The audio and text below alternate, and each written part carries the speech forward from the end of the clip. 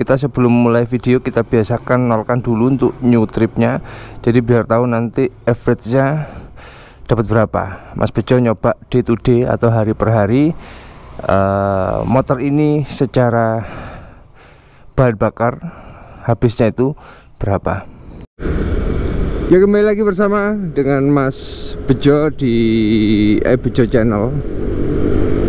Uh, Kali ini Mas Bejo mau bikin video tentang kelebihan NMAX Atau secara general itu NMAX ya Atau new NMAX, NMAX terbaru ini Apa saja kelebihan setelah Mas Bejo pakai selama 20 hari? Itu atau secara spesifik adalah NMAX Neo S ini teman-teman. Jadi kemarin Mas Bejo bikin video kekurangan ya atau video kelemahan NMAX Neo setelah 20 hari. Nah karena itu dua hari yang lalu Mas Bejo mau bikin video kali ini yaitu uh, kelebihan-kelebihan NMAX Neo setelah Mas Bejo pakai selama 22 hari atau beberapa hari lah ya kelebihannya banyak. Tak jabarkan satu persatu sambil kita eh, jalan-jalan uh, jalan-jalan di sini ya di kota Mas Bejo atau kota Jember. Kelebihan yang pertama adalah NMAX ini sangat sangat nyaman sekali jadi nyaman banget teman-teman. Jadi Mas Bejo punya pernah punya uh, NMAX generasi kedua atau Gen 2 lah itu nyaman nyaman sekali. Terus Mas Bejo jual terus beli lagi ini dapat belum satu bulan rasanya nyaman. Nah, jadi uh, kalau boleh dibilang bahkan lebih nyaman ya. Karena karena secara handling itu lebih mudah dikendalikan ringan terus shocknya itu sama-sama keras cuman lebih smooth yang baru. Nah itu. Jadi kalau banyak yang bilang bahwa motor ini plug and play NMAX generasi kedua Mas Bejo kurang setuju. Karena apa? karena Mas Bejo uh, juga punya gitu loh ya. Juga pernah punya maksudnya yang NMAX generasi yang kedua. Dan feelnya beda teman-teman. Ini uh, ringan enteng mudah dikendalikan. Bahasa Jawanya itu manut dan kayak apa ya kayak motor mainan gitu loh. Kayak mainan tapi dinaiki gitu. Nah itu. Jadi motor ini pastinya sangat-sangat uh, nyaman sekali. Itu yang pertama. Terus kelebihan yang kedua dan mungkin jarang orang bahas ya. Karena Mas Bejo seneng membahas sesuatu yang jarang orang bahas. Yang Mas Bejo temukan uh, temukan dalam kehidupan real sehari-hari. Apa itu? Yaitu kemudahan dalam speedometer. Jadi uh, speedometer dari NMAX ini spesifik itu mudah sekali dilihat teman-teman. Enak enak banget dilihat.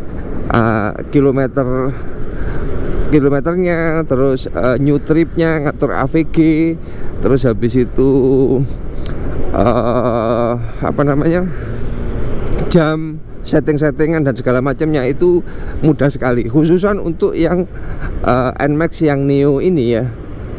Karena apa? karena yang uh, turbo itu kan beda. Mas Bejo belum pernah setting-setting sih. Kalau uh, feelnya itu feel saat test ride saja.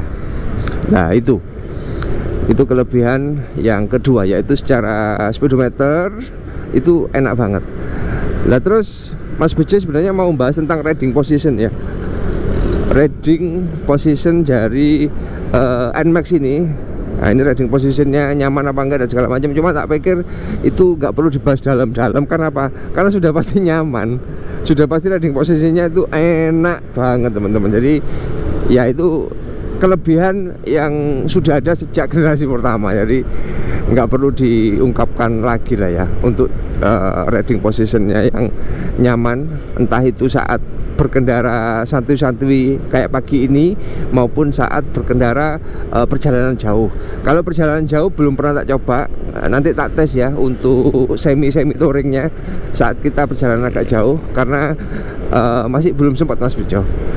Nah, itu. Jadi pasti nyaman. Nah, itu kelebihannya. Terus habis itu teman-teman kelebihan yang berikutnya adalah lebih ke visi masa depan ya. Wes Mas Bejo suka gitu sih ya. Visi masa depan apa Mas Bejo? Uh, Nmax ini salah satu motor dari empat motor yang Mas Bejo rekomendasikan untuk dibeli. Karena apa? karena secara harga itu worth it banget pertama ya. Uh, meskipun mahal ya cuman harga jual kembalinya itu uh, tinggi. Bentar Mas Bejo belok. Harga jual kembalinya itu tetap tinggi teman-teman. Jadi uh, Mas Bejo berpikir pasti harganya suatu saat uh, kalau dijual lagi akan lebih tinggi. Itu lebih ke visi masa depan ya. Apalagi yang Neo kalau turbo nggak tahu Mas Bejo. Belum belum bisa memprediksi karena Mas Bejo uh, selain ngetes apa selain ngecek di motor dealer baru juga uh, ngeceknya di Mokas ya di dealer-dealer motor bekas tentang uh, harga jual kembali uh, motor teman-teman. Terus habis itu hal yang bisa Mas Bejo jelaskan tentang uh, NMAX ini sejak setelah 20 hari pemakaian kelebihannya adalah motor ini secara sok ya kita bahas sok ya. Lah ini kenapa Mas Bijo pakai apa milih jalan yang pavingan kayak gini? Ini tak buktikan maksudnya dari getaran-getaran suara Mas Bejo kan kalian harusnya tahu ya. Jadi gini teman-teman. Untuk generasi kedua yang tak rasakan ya ini nanti mungkin kalian bantah juga nggak apa-apa. Mas Bejo kan punya NMAX generasi kedua itu kalau sendirian nggak goncengan kayak gini itu gerata-gerata gitu loh. Ah gerata-gerata gitu loh jalan bumpy, jalan paving dan segala macam. Nah kalau NMAX kedua ini lebih semut teman-teman. Meskipun tak lihat ya Secara shocknya itu hampir mirip atau sama. Body terus velg dan segala macam Banyak yang bilang plug and play sih. Cuman kok ya beda gitu.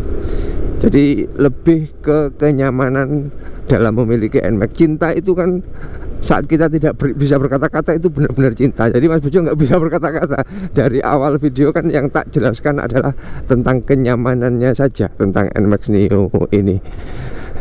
Ya mungkin cukup ya untuk video kita kali ini yaitu tentang uh, kelebihan dari NMAX yang Neo yang Neo S maksudnya. Yang Neo S uh, seperti ini. Nanti tak sebutkan lagi. Ini kan setelah 22 hari. Nanti kan setelah satu bulan terus satu tahun dan segala macamnya itu pasti tak bikin video. Kalau ada apa-apa di motor ini ada perkembangan apa makanya kalian subscribe di YouTube Mas Bejo di iBejo channel. Ya wis sampai ketemu di video-video Mas Bejo selanjutnya uh, mohon maaf kalau ada salah-salah kata. Jangan lupa like, komen, dan subscribe di Abijo channel. Matur nuwun. Terima kasih. Kita sudah sampai rumah teman-teman. Perjalanan hari ini AVG nya adalah 46,7 km per liter dengan reading atau posisi kita dari tadi kan santuy-santuy itu ya dengan jarak tempuh adalah 13,6 km. Nah Mas Bijo coba jelaskan hari per hari Karena setiap harinya average habisnya bensin rata-rata itu pasti berbeda. Ya wis, terima kasih. Bagaimana menurut kalian? Ini apa enggak? Terus di kolom komentar di bawah